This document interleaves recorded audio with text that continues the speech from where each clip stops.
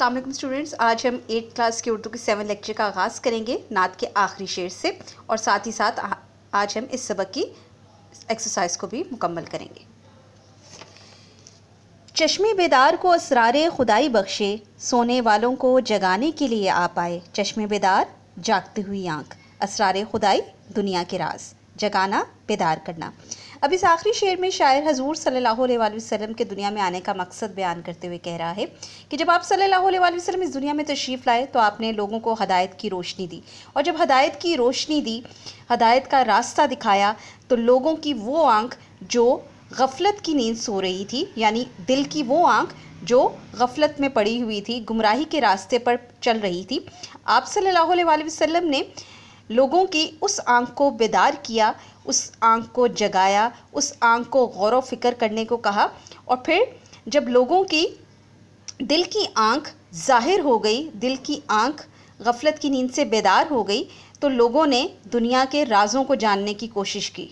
दुनिया के राज़ों को जाना, दुनिया में मौजूद निशानियों पर गौर फ़िक्र किया तो उन्हें समझ आई कि हाँ अल्लाह है।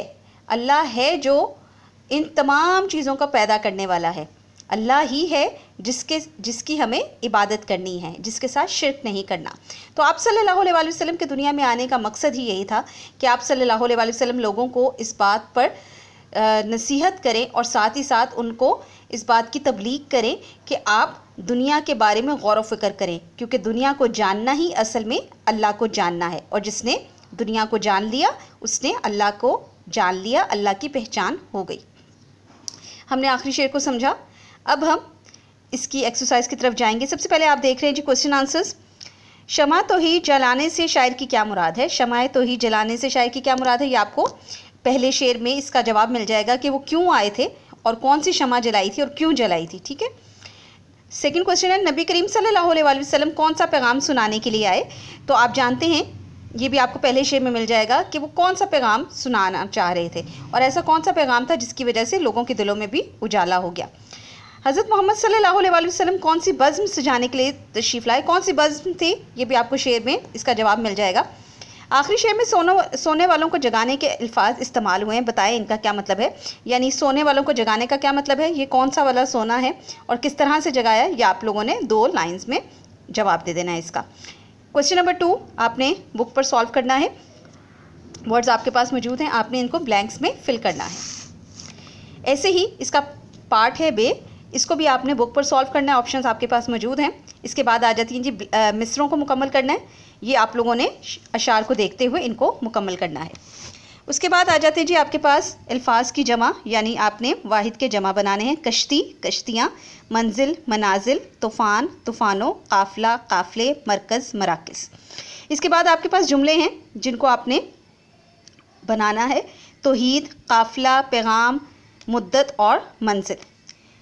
उसके बाद क्वेश्चन नंबर सिक्स है जी, जिसमें आपने अल्फाज को पढ़ते हुए ये देखना है कि क्या ये अल्फाज मुजक्कर है या मोनस, जैसे पैगाम। पहुँचाया जाता है तो पैगाम मुजक्कर है।